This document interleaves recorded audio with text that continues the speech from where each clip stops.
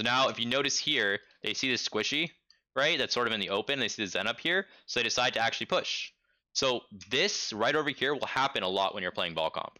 An enemy team might be like, uh, an enemy brawl team might be like, hey, there's, there's a non-mobile person over here. Oh, there's a Zen here. Oh, there's an Ana here. And they'll just sort of like int on you. And it's really, really, really important when you're playing uh, ball comp and you have sort of, you know, squishies or non-mobile people that you're playing max distance. You're playing really, really, really far away. And the next thing I'll even add on top of that is don't be afraid when you lose somebody. You can always trade, right? Like if, if they go in and they maybe kill your Ashe, your Ashe dies. Well, when that happens, hopefully your ball can go in and like displace their team and then, you know, slam. And then your Tracer can maybe try and kill the BAP. All right, so today we are going to be talking about Brawl. Uh, whoops, no, go back a second and redo that because we're not talking about Brawl. We're talking about Ball versus Brawl. uh, this is a bit weird. Okay, so today we're going to be talking a little bit about Ball comp versus Brawl and sort of how to like win that matchup. I've got an example from Contenders, Falcon Esports versus uh, BH, and I think that was a pretty good example of how Falcon actually was playing Brawl insanely well, and what uh, I think BH could have done better, so they could have actually won the map. Um, but before we get into that, I'm going to quickly talk a little bit about just generally ball comp. So generally, ball comp is ball, uh, D.Va or Sigma, um, D.Va or Sigma, uh, Ashe, or Echo, or maybe sometimes Sombra. Um, Tracer. Oh, I'm running out of room. Tracer, Brig, or Mercy. Uh, and Zen. Sorry. Um, and essentially, right? Let me make sure I'm also not running over my picture. Okay, I'm good. Um, now because we're playing against Brawl, we really want to maximize the number of mobile people we have, so it's hard for the enemy team to actually kill somebody. So instead of this particular composition, what is a little bit more ideal is like running ball diva, D.Va instead of Sigma so they can't run it down. And then you want spam based heroes because you're not you can try it out brawl brawl with ball comp, but in general going a more spam based comp is probably a bit better. So running something like Ashe or Echo um, or even Hanzo is quite good. With and then you normally want some constant damage, so getting a tracer so you can follow up on stuff and then a Mercy because it's mobile and it damage boosts with angles, uh, and Zen because you have Discord and then again more damage. Um, some variations might include instead of this, uh, you just have two spam based heroes. So you'd have like an Ashe, um, Ashe, Echo, Hanzo, uh, and you'd have maybe two of these. So you'd have like Ashe and Echo, or maybe you have Echo Hanzo, and you just have the Mercy Zen Ball D.Va, and you just have two spam heroes. And so Ball doesn't really have a, like a tracer to play with. But in this situation, you just have a lot more spam damage, so you can sort of take angles and essentially pressure the Brawl team from uh, you know different angles and essentially force Brawl CDs really early on. Um, you could run Pharah. Uh, I'm personally not the biggest fan of Pharah, and the reason why I'm not the biggest fan of Pharah is because when you run Pharah, you normally need a Mercy, and then your comp normally has to play around the Pharah so that your Pharah gets value. And I think it's if the enemy team it's sort of like greedy in my opinion, unless you have like an insanely good Pharah. The enemy team, uh, the Brawl team sort of knows how to play around Pharah and how to deny Pharah, then it's going to be insanely hard for you to get value. And I think if you're also running a Pharah, you want it on it because I think Nano Pharah is really strong for retake. Um, but so I'm just not fully for it because again, I think it's a little greedy. But if you have a good Pharah, you can definitely try it. Uh, so other thing I'll also mention is the compositions based off what you want to play are definitely map dependent. So if you've got a high ground map like Dorado, uh, you don't necessarily need you know a tracer. You could just play like Ashe Echo and sort of just hold the high grounds, and Ball and D.Va can sort of stall point, and your Ashe uh, Echo sort of just poke from different angles and eventually force lamp and get people really low because Sticky's dynamite, and then Ball Slam. You can sort of imagine with Discord, you can just get kills. Um, or you can even imagine on like Temple of Anubis first point uh, you sort of play like on the high grounds of point and bait the brawl team to play point and they go point and you're sort of just spamming them from high grounds and you're sort of just again ball D.Va are sort of just like touching point and just buying time uh, one at a time ball goes in uh, then goes out D.Va drops then D.Va flies up and when ball goes in D.Va probably dms the ball so ball doesn't take as much damage ball has shift 2 or not shift e um, So that's sort of the concept, right? Is you want to sort of win over time. All right, so let me sort of go into now what are the basic like ball comp win conditions. We'll do a little bit more over here. Ball comp win cons. I'm also sort of going to go into what brawl win cons are, like the brawl win, win cons are into ball, so that you can sort of understand hopefully the logic and sort of understand how to play the matchup a little bit better. Um, but in basic sense, you want angles versus brawl. You want uh, you want to essentially normally like a long fight. Uh, the longer it is, normally the better it is. Longer is like better. Uh, and when I say angles, you want to just be really wide. And I'll show an example of it a little bit later. Um, you want to definitely go for displacement because when they're all together, uh, it brawl normally is Rein D.Va, uh, Mei, McCree, Lucio Bap, and sometimes maybe Tracer or something else. But if they're all together, then Bap gets a lot of value because it's easier for him to heal. But if it got split, um, then it's harder for like the D.Va to peel people or the Tracer, uh, not Tracer, the uh, Lucio or Bap, so Lucio to like peel, uh, like you know, pressuring a Tracer, or the Bap to just heal everyone. Uh, another thing is you normally want to try and focus squishies. Uh, focus squishies. Squishies are people with 200 HP. Um, and you normally want to, those squishies normally want to have like non-livable CDs. So what I mean by non-livable CDs is like a bad example would be like Mei, because Mei has cryo, unless you're trying to force cryo for some reason. But Mei has cryo. Um, Reaper has like Wraith, so Reaper will just live. Moira has like Fade. So stuff like that, it's really hard to kill because you just force the they won't die. But a better example would be something like um, McCree. You hit hit McCree, he's got no livable CDs and then he's sort of squishy and non-mobile. Um, no, so we also need to add non-mobile here. Whoops, squishies and uh, non-mobile CDs. Sorry for my handwriting. but um, yeah, McCree, uh, Ana, even though Ana's nade, it's not that much. Hanzo has very limited mobility in my opinion. Um, so those are some ones like that you can really like watch and sort of try and pressure. Um, okay, so the other thing also is you sort of want something called kill boxes, and I'll like hopefully you've seen a basic ball video of mine. If not, you can go watch one. But kill boxes are basically like engagement zones, and you want to really understand where the enemy team is rotating and sort of just have these kill boxes to engage on them when they go. And uh, you don't necessarily need to like rush. You can have well, you can kill, hit them once, and you can also hit them again.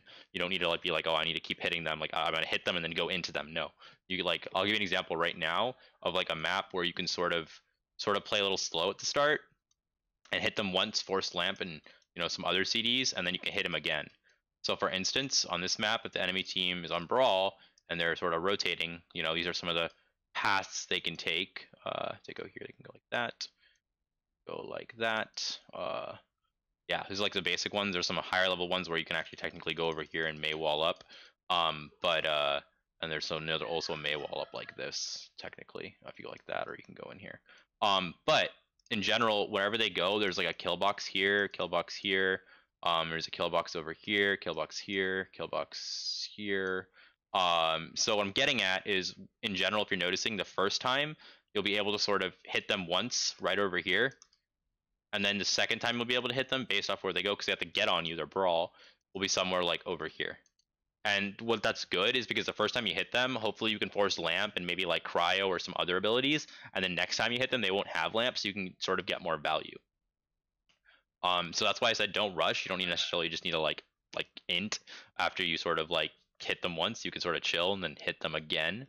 Um, and the other thing I'd also say is if the enemy team decides to like force cart, you've got all the time in the world. If you have a tracer, your tracer can stall point because you have Zen Orb. You can give Zen Orb to your tracer. Tracer can stall point. Your ball can go stall point, and you can just keep spamming them because if the cart's over here, you have this much time and if you're con- if you're just like you know you can just poke here, Tracer can go stall a little bit, keep poking. Hopefully, if you just play this correctly and just control the high ground, by the time the card's roughly over here, you should hopefully have forced a lot of CDs, preferably by here, and then here you can sort of just get value. Because again, if you just think about it, dynamite, discord plus ball slam and a little tracer follow up, somebody's gonna die. Okay, back to this here. Um, where's cool. So now I want to talk about like brawl win conditions. And this is a little bit more different and a little bit more high level. So I'll show you an example from contenders of sort of what uh, Falcons did. Uh, they have an amazing head coach and assistant coach, uh, Faustus and um, iHeart. Uh, so definitely check them out if you haven't. They're both very smart people. Uh, and hopefully we'll be an owl soon. They definitely deserve it. But so uh, brawl. So brawl like WinCon, um, versus brawl, ah, versus ball. So in for this, your WinCon essentially is a few things. So you want to basically position. Uh, I'm gonna go back so I can have a little better or space. I want to position where you take minimal uh minimal poke from angles. Okay? And I'll give you an example of that in a second, and it'll make a lot more sense once I do. I understand the high level concept is you want to position somewhere where you can take a minimal poke from angles, and you can essentially like uh, you can sort of like support uh you can like support mm, not you support let's say like you plus you can like force point if you want to force point because then you can force a brawl or um if you don't have map control already, if you do have map control, or you can have some type of like map control. Okay. Uh, so now you might ask yourself, okay, so you're in a position and you know in some corner or some area where you're not taking a lot of poke from some angles, but then you also you're trying to force point. How do you do that, or who does that?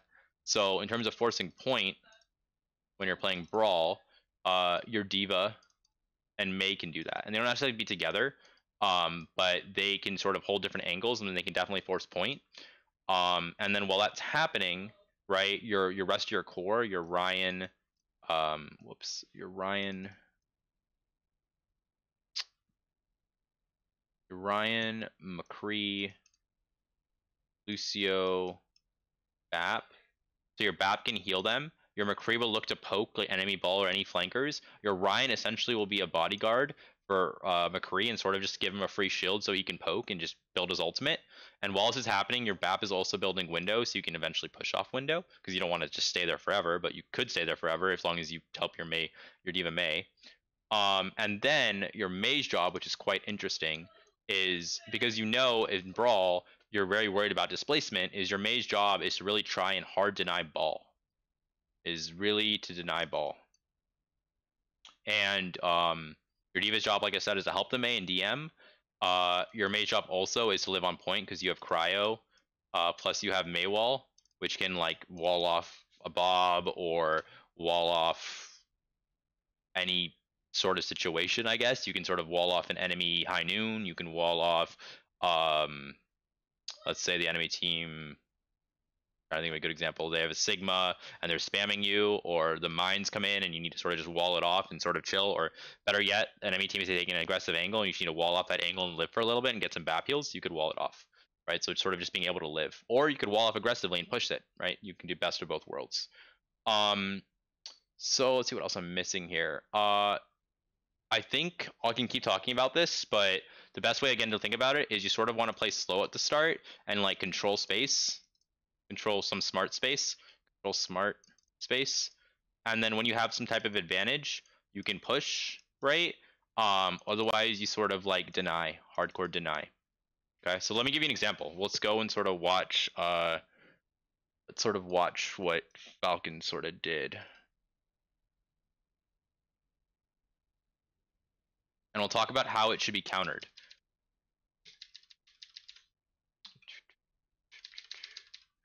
Okay, so here I'm gonna keep it on mute so there's not a lot of sound. But at the start, you can notice here um, we're playing runes, and Falcons Esports immediately goes into this sort of area, which to be honest normally looks really weird. But if you actually logically think about this point right over here, you'll see it in a second. That's a nutty kill. But you think about it, this wall right here denies the enemy team, right? Like the only way that BH can actually do damage is from here or here, which is like pretty good. Why? Because that can just be shielded off. And if the ball or someone pushes in here, guess what? That's a free wall. So essentially, in this enclosed area, you can sort of block a lot of the angles, and you can force point because your D.Va or May can go point, and your BAP can just heal that. So it's a very like smart spot that your team can play, and you can sort of live.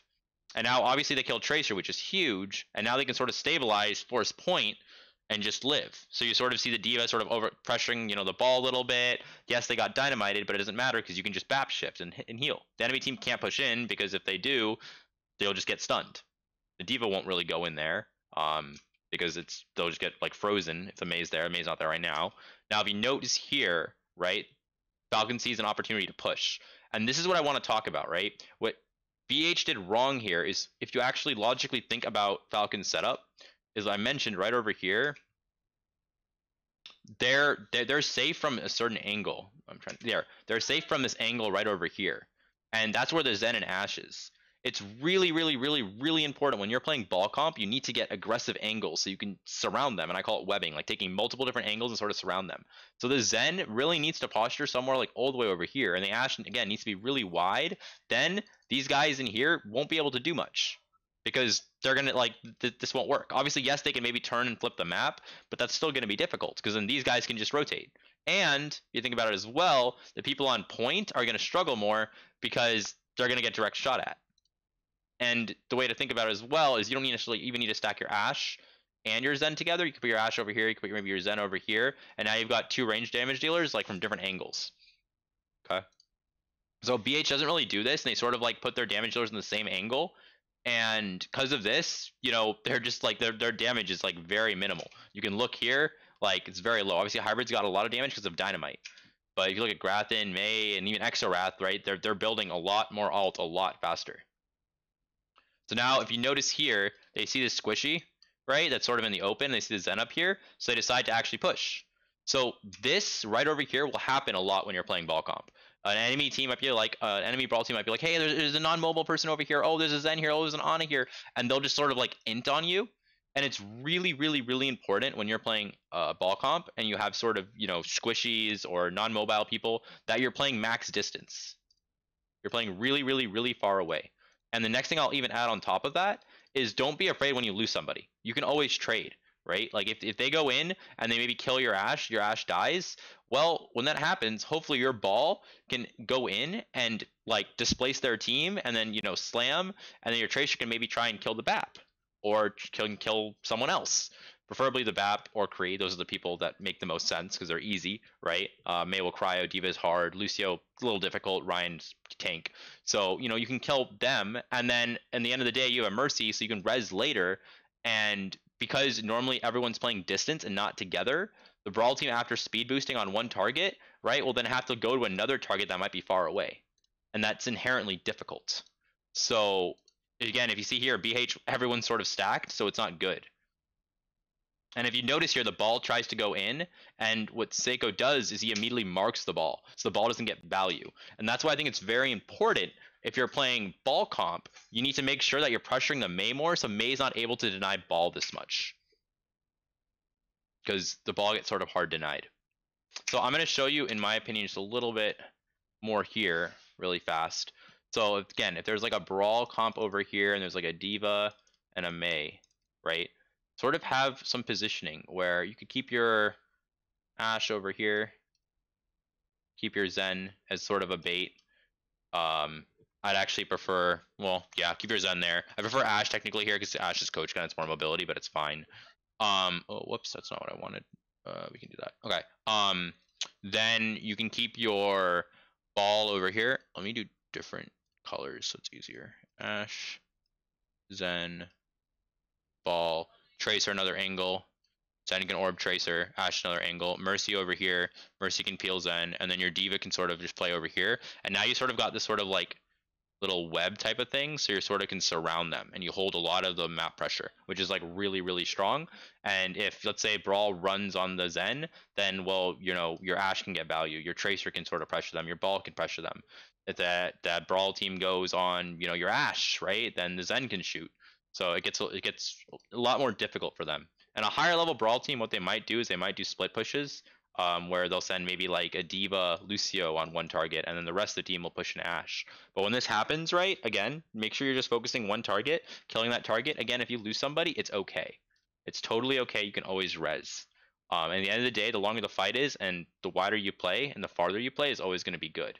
Um, something else to note is you need instead of pressing W and going into them in, into a brawl team, preferably what you'd rather do is take like aggressive angles So what I mean by that is let's say these guys now rotate and they play like over here. Then, you know, what you'd rather do now is play more aggressive. So you maybe have your Zen go more over here to have a get a better wider LOS so they can shoot more. And then Ashe again, maybe Ashe goes even more aggressive and starts like playing over here or something. Probably not the best angle, but like get a really aggressive angle so you can like shoot them more and like basically make it so the environment cover they have becomes useless. And again, instead of going like in like this and getting the angle, go wide. So you maximize that distance so it's harder for them. Okay. Um, I think that's good. That's like a basic understanding of sort of like webbing and playing distance in different angles. Uh, in general, when you're playing, you want to try and have three angles, is the way I sort of look at it. Uh, three angles at least. Four is obviously great, but if you have three angles, it becomes you can peel each other and it's hard for them to deal with. Two angles is not enough because D.Va can deny and Mei can deny. Um, you've got Rein Shield as well. Uh, so and Mei's only a wall, but you can still sort of soft deny. So you really need at least three angles. Okay. Uh, so look at this. Let's sort of finish this and we'll sort of like see how it plays out. Um, I'll talk a little bit about point control too. Um, so now you see they've got point again. They're sort of chilling. Uh, enemy bobs. They wall it off. D.Va, uh, Mei are sort of just chilling on point. He cryos. He's living. Uh, Grathen gets a kill. And notice how the Rein's sort of helping to create. That's how Brawl's playing it. They're playing it pretty smart. Seiko's nuts. Gets a kill. Um, you know, notice the massive pocket on Seiko here and they're just bat, bat and then ball goes in but ball just constantly getting denied because again bh doesn't really have the angles to really pressure the bap um, or pressure the Mei. uh, and what's happening is they're getting the Mei low but they can't really get the Mei to force cry and once they do the team's there to peel so you need to really pressure the bap to you know force lamp early um, and then follow up on that and the other thing to also realize is like when you when the D.Va's over here and the Mei's over here, this is a decent chance for Tracer and Ball to try and hit this because there's less peels there. Um, obviously, yes, they have stun, but you also have a D.Va, but you don't have to commit your D.Va. It's a little a little bit harder. And also, if you think about it, and when that happens, then that D.Va might peel, and when that D.Va peels, then your your uh, your squishies can rotate or move more because the D.Va doesn't have fly anymore. So now they're rotating, pushing back in. They use window, um, and they sort of take space. Hybrid kills dollar, dollar. Um, and again, they're sort of just playing this whole side. And again, you're sort of seeing uh, their ashes over here, Zen's there. They're not really taking angles. They're sort of just forcing this spam main, and you see Tracer shooting from a little bit and Ball shooting from a little bit. But to be fat, to be honest, that's like not like the massive damage dealers, right? Zen's a massive damage dealer, Ashe is a massive damage dealer, and these guys need to go wide. And this is an example of like he's getting a lot of value here, and this is good, but like going wide and going more right would be like very beneficial. Okay, cool. Um, so I want to talk about this, right? So let's say you're playing ball comp, and um, the enemy team, and we talked about kill boxes. So I'm actually going to use this here. So we talked about kill boxes, and I want to talk about retaking and like holding point control. I think point. So in general, I hope you know that when you have point control as ball comp, it's super easy for you. It should inherently be a lot easier for you because you can set up how you want. You can set up the angles you want. The enemy team has to rotate through your kill boxes, so it's a lot harder for them. Um, so which is good for you, right? So if enemy team like rotates like this, you know, or like here, here, here, like you know this works really well because you've got a kill box over here you've got one here and you've got one like sort of where you go point wherever you go point. Uh, there. Uh, here here um here. So what i'm getting at right is when you got point control you can set up these multiple kill boxes just like we showed on Eichenwald where you'll be able to force lamp here then maybe like when they go to point you know you can actually kill them. And like i said you can buy time right? Your backline can play pretty far back. Um, you can chill. Uh, you can set up how they did what i'll show you which is really cool. Um, and you can force CDs early, and then later you can engage and go harder later. Um, what's really important though is you scout and you actually understand where they're coming from, so you set up to hit their core. And the other thing is sometimes, you know, brawl teams will be really sneaky, and they might send like a flanker over here while their core moves here, um, and then you guys don't see the flanker, and the flanker just kills people. Right, so you need to make sure that you're scouting properly. And if it's a solo flanker, guess what? That person's dead to like a, a ball uh, ball tracer or just a D.Va can maybe even kill it, solo D.Va. So with Discord. Um, so just make sure you're scouting really well. One second. Uh, talked about kill boxes, carry enemy baits. Uh, other thing, right? Uh, if the enemy team is rotating, something that they might do, which is very popular for brawl teams, is they'll rotate out, but they'll only send their tanks out to like bait your ball engage. That way, your ball only hits tanks, which means guess what? They only hit tanks. The BAP's not going to land. Nothing's going to happen. And once that your ball hits and your tracer goes in, then the brawl team will walk out, and then that because your ball tracer has to cycle out, and then the ball, brawl team will walk out and then get value. So you need to make sure actually when you're slamming, you're actually getting the squishies. Don't just hit the tanks. Um, and like I said before, one of the biggest things that I'm going to keep emphasizing is longer the fight, the better it is. So don't unnecessarily try and just rush to point. You have ball and tracer and D.Va, all of which can stall point quite a lot. If Brawl goes to point and you you know you send your tracer on point first, um, you know with Harmony Orb they can stall. Then you know your ball goes point touches, then they can stall. Then your D.Va goes like they can all they can sort of just like ping pong it one one after the other. While your Ashe is taking an angle, while maybe your Zen's like taking another angle, right? If they just rush to point, just take angles and stall point, you'll win over time. And as well, you're building ultimates too, and you can use those ultimates as well. Be also be aggressive with your ultimates. You can use one ultimate at the start to force uh, CDs, and maybe they use an alt, and then use another alt to try and finish. Make sure you're using like one alt to start a fights. Don't be passive. And like I said, also is you want to always go wide. But if you have a break, you might want to actually W key and push into them. But that's if you have a break. Now, last thing, let's talk about um, if you're retaking. And I think this is probably one of the more tricky ones. Uh, if you're retaking with ball, uh, retaking with ball comp, Brawl has a natural advantage. So it's really, really, really important you're smart about how you do this. Why? If the Brawl team would sort of just hold this choke here, uh, it's not the right choke. Whoops right over here. Let's try it. The Brawl team would try and hold this choke here, and then maybe have like a D.Va hold over here, um, or on the high ground, whatever. Uh, and then you would sort of have to try and go in. And again, you want angles, uh, you want displacement. You also sort of want split focus, which I didn't mention earlier, but you want split. You want to split their focus. So sending your ball plus tracer to point is always a good deal and that works. But what can happen is the enemy brawl team might be say, you know what, we're gonna send our D.Va to soft contest point and maybe the BAP will soft heal our D.Va and then the brawl team will just rush into you. And when this happens, your team could just die. Like your team could literally just like they could just run into your squishy, uh, like um, uh, squishy could be your Zen and like just blow up your Zen. So it's really important that you position a little bit further back. But what's even more important is when you're retaking, you scout you scout and ask yourself where's the Rein, where's the Mei like where are these people that are holding really close? Um, you know, where where are they playing? Uh, if they're holding close, that means I know they're going to run on me. So as a squishy, I'm going to play further back and sort of chill. Obviously, if you have trance, that's great. You can play more aggressive and you can trance when they hit you. Um, but sort of play slow, let your ball tracer hit point. Then when your D.Va uh, goes point, when their D.Va goes point, you try not to use a lot of CDs as ball and uh, tracer or as ball and tracer, so that when the D.Va comes and flies to point, you can then use your grapple and your and uh, your blinks to come back, and then you push in, and then you pinch. You sort of sandwich the guys here. And the biggest thing is wherever the Mei is, and if you're going through a choke, you want to try and go in a way where you hit the Mei so that Mei cryos, and you know you don't get um uh you know you don't get walled off.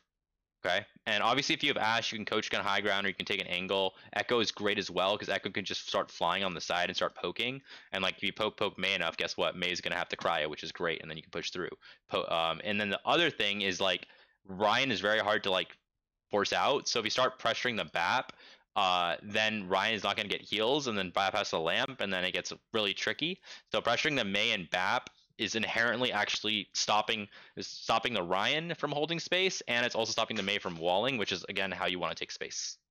Okay, so hopefully this makes sense. Force point, split focus, take angles, um, understand that they could rush you. Make sure you scout. Uh, also, in general, use alts to take space. Don't just sort of stand there. Uh, you can see over here, BH sort of holds its high ground, and they're really smart about it. They have the ball on top. They've got the tracer here. This is when they're holding space, not when they're retaking. And if you notice here, the ball comp right? Sort of just runs through. But they weren't even ready, and they try and get a hit, but they didn't really get a hit. And the brawl team forces point. And the fact of the matter is, it's because it's 99 and they beat and force point. It's a little tricky for BH because they don't have a lot of time because they have to touch. Um, and then again, to be honest, this Mei just gets insane amount of value. And they also don't have any ults, so it doesn't end up working well for them. So you know, Falcons ends up winning, and they played a really good brawl here. But in summary, um, understand that brawl ball ball comp versus brawl is very doable. understand your basic win cons, angles, distance, um, stalling point, and hitting them, getting valuable dynamites, building Bob, pressuring their BAP and Mei, Mei so they doesn't they didn't screw over your ball, BAP so the heals are low, uh, and essentially hitting squishies, hitting Kree, hitting BAP, hitting Mei. Uh, Mei not as much, but pressuring so the Mei can't freeze your ball when your ball goes in. Okay. Hopefully that was helpful.